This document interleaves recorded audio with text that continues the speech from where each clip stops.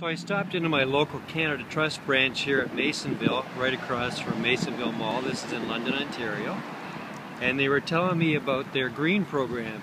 Since Canada Trust have their green colors, they are into a green program here, and this park in behind their branch is actually a self-sustaining solar-powered park, I guess, that powers all the uh, things at their branch here.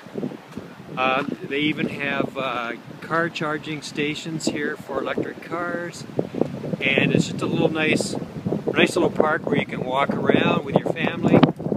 Wow, it's windy here. Uh, they call it TD Green Energy Park. they have uh, flowers and stuff that come up in the spring. If you look around here, they have solar panels which automatically adjust.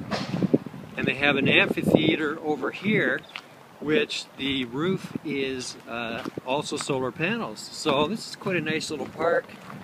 Description here, Solar Tracker 1. They've got Solar Tracker 2.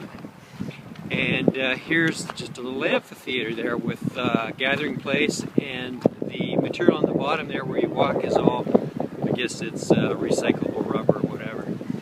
And this is just behind the branch here, Canada Trust. Cool, eh?